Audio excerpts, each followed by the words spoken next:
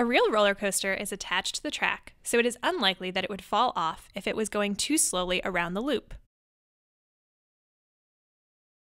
But with sufficient speed, it should be able to go upside down without losing contact with the track. Similarly, the roller coaster can lose contact at the top of a hill if it goes too fast. What speed is necessary for that to happen? In this simulation, there are two forces at play. The gravitational force always points downward. The normal force always points towards the coaster from the track. If the coaster is accelerating upward, this means an upward normal force is exceeding the gravitational force, and the net force is upward.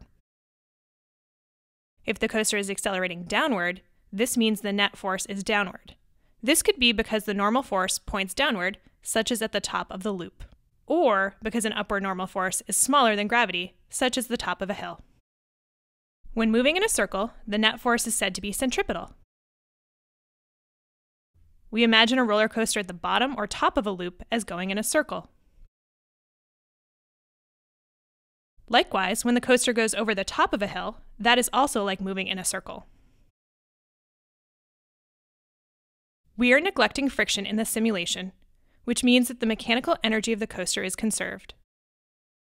As it exchanges gravitational potential energy for kinetic energy, it moves more or less quickly.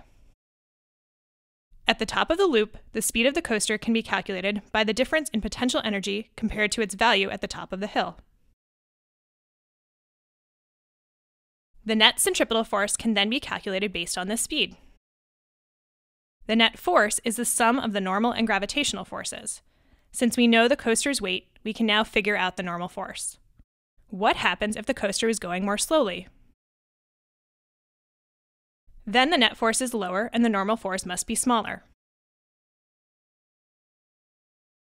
At a low enough speed, the normal force disappears, as it can only add to the net force at the top of the loop. This is the point at which the coaster loses contact with the track. The coaster falls. In general, it is worth remembering that when two objects lose contact, the normal force acting between them vanishes. When solving problems about loss of contact, then, our strategy should be to begin by setting the normal force equal to zero. A similar strategy is needed when we get to the hill at the end of the track. The gravitational force points downward, and the normal force points upward. The amount by which the gravitational force exceeds the normal force is the net force. This is the centripetal force.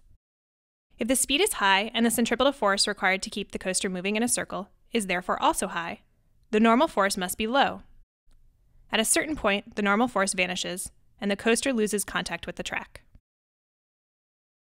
At some points, such as the two sides of the loop rather than the top or bottom, only the normal force is centripetal, not the gravitational force. Keep this in mind when problem solving. At the start of the simulation, we asked, how can the roller coaster go upside down without falling? It's a bit of a trick question.